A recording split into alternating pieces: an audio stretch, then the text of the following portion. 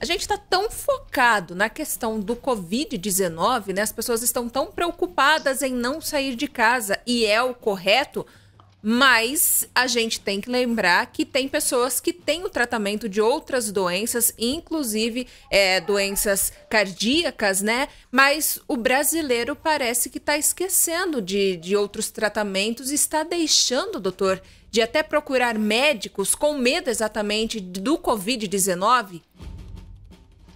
Sim, sem dúvida, né? É...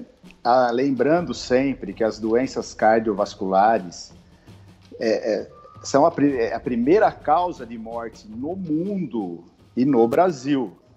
Né? Então, não podemos esquecer. É claro que o foco hoje está todo direcionado à Covid-19, né? É, porém, as doenças do coração continuam matando uma quantidade muito grande de pessoas, né? Então, tem que continuar tomando seus cuidados, né? Tem que continuar tratando as suas doenças, né, a hipertensão arterial, que nessa época, principalmente essa época mais fria do ano, é uma hora que a pressão costuma alterar com uma maior facilidade. Muitos pacientes nós temos que ajustar a dose dos medicamentos ou associar um novo medicamento junto, porque o frio, né, é, é, é, propicia esse aumento da pressão, né? Então, é uma época onde as doenças cardiovasculares aumentam também, né? Tem que tomar muito cuidado com isso, sem dúvida nenhuma, Evelyn. E agora, doutor, é, inclusive os cartórios, eles apontaram que teve de fato um aumento no número de mortes por doenças cardiovasculares durante esse período em comparação com o ano passado. O senhor acredita que há esse vínculo, então, entre o aumento agora dessas mortes e a, a falta de de não, não de comprometimento, mas eu falo o medo das pessoas irem aos consultórios é uma equivalência, um resultado de, exatamente disso da pandemia? Isabela, sem dúvida, o, o que aconteceu muito, né, o, o, medo de procurar uma emergência, né, procurar a emergência do hospital em casos graves como dor, dor no peito, falta de ar, né, deixou esses pacientes é, não sem atendimento, né, mas um atendimento que foi postergado, você entende? Então, por exemplo, um paciente que teve um infarto, ele acabou ficando é, infartado em casa e foi procurar ajuda depois de alguns dias, né? E isso pode ter um, pode ser um problema sério, porque a gente sabe que o tempo é muito importante nessas doenças agudas, né? Então, muitos pacientes morreram em casa, aumentou muito o índice de pessoas que morreram dentro de casa por medo de procurar o hospital, né? É, é, a, a, recomendação de não procurar o hospital era aquela coisa assim, não procurar por é, coisas pequenas, né? É, agora, por doenças graves, é, doenças aonde que é considerado uma urgência, uma emergência, né? O hospital, principalmente o nosso hospital, está totalmente preparado para atender né, os pacientes com Covid e os pacientes que têm outras patologias, né? Doenças é, pulmonares, doenças cardíacas, é, politraumatismo. Então, tem toda um, uma estrutura montada para isso, né? Então, não pode postergar esse atendimento. Se não me engano, aumentou em 50% o número de pessoas que acabaram morrendo em casa, né? é, é, por não procurar o hospital ou por ficar com medo de, de, de procurar o hospital. Agora, Sem doutor, dúvida. a gente, é, como o senhor bem disse, é entre os fatores de risco, né, e as pessoas que estão no grupo de, de risco, são exatamente essas pessoas que têm o diabetes, que têm as doenças cardíacas, né, cardiovasculares, eu queria entender melhor, porque a gente está falando muito sobre isso, mas eu ainda não vi muitas explicações de especialistas dizendo como o, o vírus é, atinge exatamente no organismo dessa pessoa que tem a doença, algum tipo de doença do coração. Como que isso acontece, doutor, para que a gente entenda? É, na verdade, né, o vírus ele fica circulante no corpo né? Então, ele vai atingindo todos os órgãos. No coração, em específico, como o coração é um músculo, né?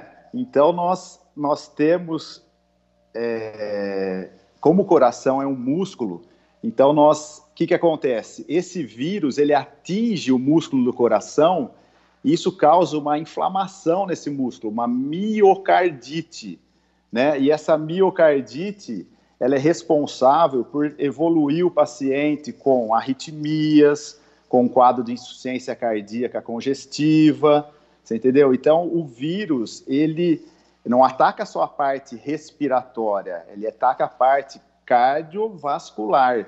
Muitos casos de é, problemas circulatórios também, trombose, né? Que depois pode levar a um quadro, uma embolia pulmonar, que é um quadro extremamente grave. Então, na verdade, o Covid é uma doença sistêmica, né? E não só pulmonar, ele atinge todos os órgãos do corpo é claro, nos casos extremamente graves, né? Isso tem que deixar bem claro também. Uhum. E ele traz sequelas é, para o coração? Por exemplo, uma pessoa que às vezes tem algum tipo de problema já aí e foi diagnosticada como Covid. Essa pessoa tem o risco de ter algum tipo de sequela ou agravar ainda mais a situação dela com relação a essas doenças do coração? Diagnosticada com Covid?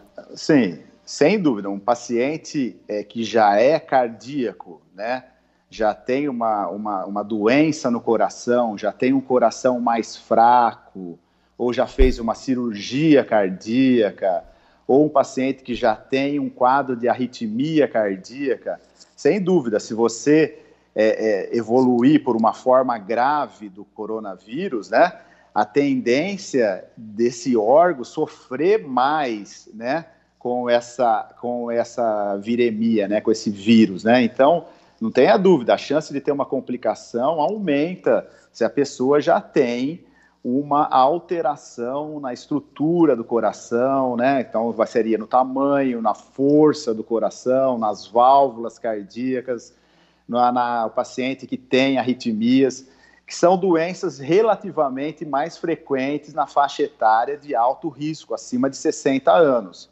Não que não tenha nos mais jovens, mas é mais frequente nos pacientes com idades um pouco mais avançadas, sem dúvida.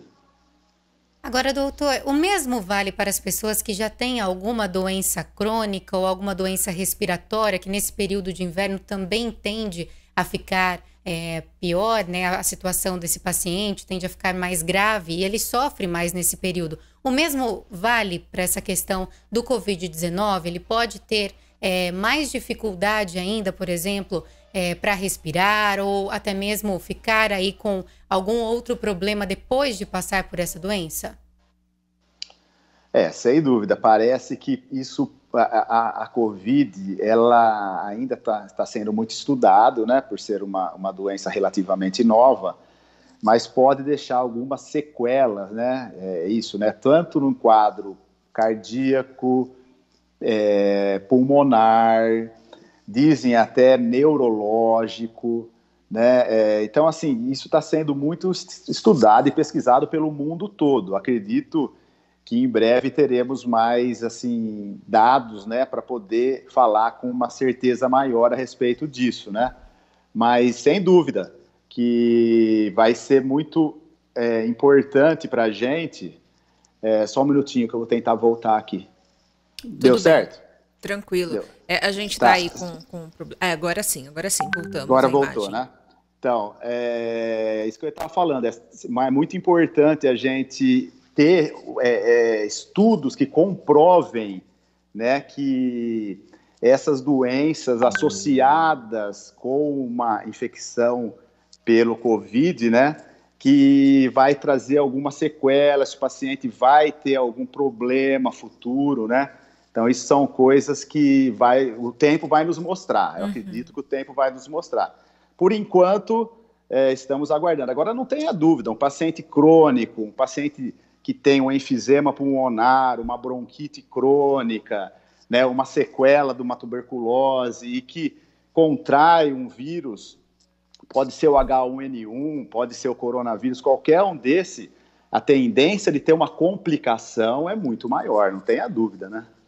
E doutor, o senhor comentou inclusive sobre a questão de reajuste de medicamentos, por exemplo, pacientes que tomam algum medicamento e, e, precisam manter um tratamento e agora não estão frequentando, por exemplo, os consultórios médicos e, portanto, não fazem esse reajuste aí necessário e não estão tomando os, os medicamentos da forma devida.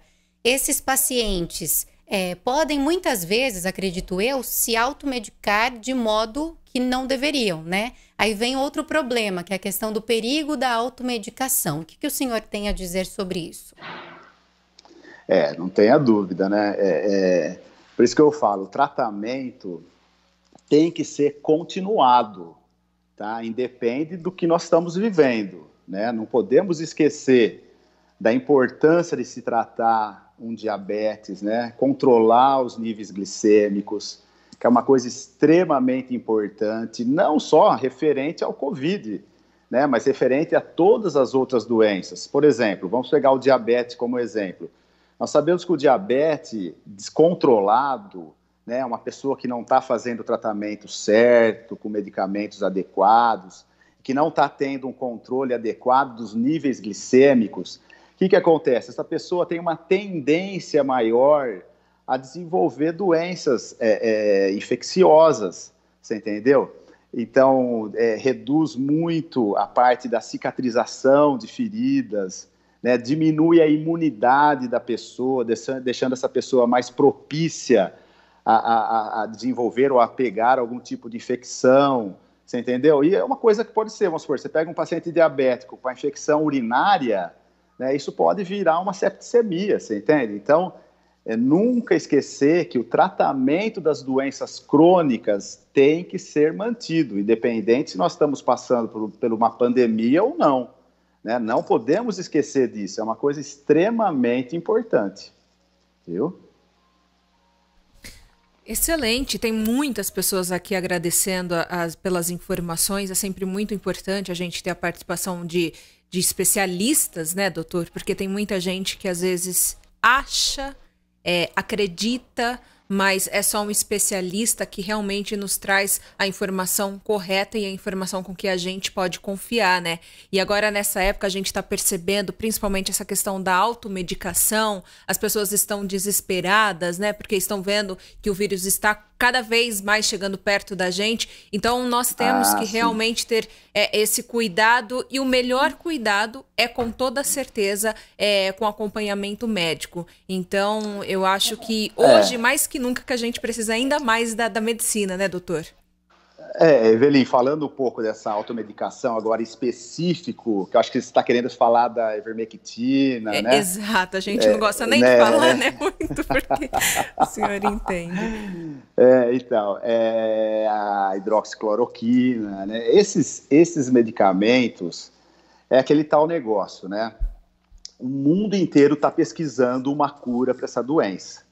É, essa automedicação é, não é tão fácil de se fazer em outros países. Por exemplo, nos Estados Unidos você não consegue comprar um remédio sem receita médica. Uhum. Tá? Então, eles dificultam um pouco isso, né? Uh, é complicado você falar sobre um medicamento, né, que vamos falar, da ivermectina é um antiparasitário, né, um remédio para tratar verminose, para tratar escabiose, né? Então, assim, é, é, difícil a gente associar isso né, a um tratamento é, de um vírus, né? Parece né, que alguns estudos mostrando, né, não são estudos ainda que conseguiram comprovar com uma eficácia é, grande, né, mas alguma coisa está se surgindo uh, nesse ponto. Mas fica difícil para a gente, como médico, né, é, é, falar isso abertamente, se todo mundo tem que tomar, porque é, é, não são casos específicos, né? Outra coisa, tomar um medicamento preventivo é outra coisa complicada, né? É difícil falar que nós estamos pre é, vou prevenir o que tomar um remédio desse, né? Vou prevenir uma verminose, tudo bem, tomar para Agora, para o coronavírus é, é, difícil, tá? É difícil achar um consenso ainda. É muito sobre... novo, né? Também. Certo, é, é é muita especulação, né? Quer dizer, está todo mundo querendo achar uma, uma solução para isso, né? Então, você vê que é, alguns países proíbem de usar hidroxicloroquina, não deixam usar, alguns hospitais principalmente hospitais particulares de São Paulo, proibiram o uso. Agora, aquele negócio, se você tiver a doença, você vai usar o que tem em mãos para tentar Isso. sarar, não é verdade? Para reverter a situação. Tem essa, né? É uma situação bem, bem delicada, né? Para a gente finalizar, o senhor inclusive comentou sobre essa é, é, essa situação dos Estados Unidos, de outros países também que não vendem né, medicação sem receita médica. E aqui no Brasil, Sim. doutor, eu tenho a impressão que é tão fácil né, as pessoas terem acesso a certas medicações, é, e, e, isso Sim. acaba, a, acredito eu, até prejudicando exatamente essas pessoas, porque elas têm a, o, o, hábito de ter exatamente a automedicação, né, Isabela? Incentiva o uso de medicamentos que muitas vezes não é o, o, o, o certo, né, para o determinado Sim. tratamento que essa pessoa precisa. E isso, na Sem sua dúvida. opinião, doutor, deveria é, ser repensado aqui no, no, nosso país com relação à venda de remédios sem receita? É, a Anvisa, ela, ela, ela é rigorosa para determinados medicamentos, você entende? Se você quiser comprar um creme ou uma pomada que tenha um antibiótico, você não vai conseguir comprar sem receita. É apenas um creme que você passaria na, na perna ou alguma lesãozinha de pele e você não consegue comprar.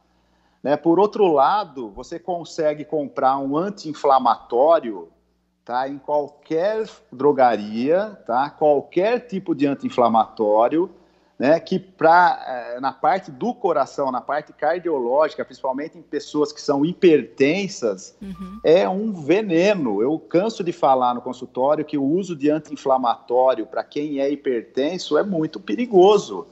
Né? Para quem toma anticoagulante, né, aqueles remédios que afinam o sangue, tomar anti-inflamatório é muito perigoso e vende em qualquer local, sem receita médica. Então, do mesmo jeito que a Anvisa segura algumas coisas, você entendeu? Difícil de você conseguir um creminho, uma pomadinha, ela libera outras coisas que eu acredito, ao meu ver, que podem trazer problemas até mais sérios do que um simples creme. Né? Então, assim, é complicado isso, a situação que nós estamos vivendo é muito complicada, é muita informação, né? E nem toda essa informação tem um fundo aí científico confiável, não é verdade? É, é verdade. Esse é o problema, né?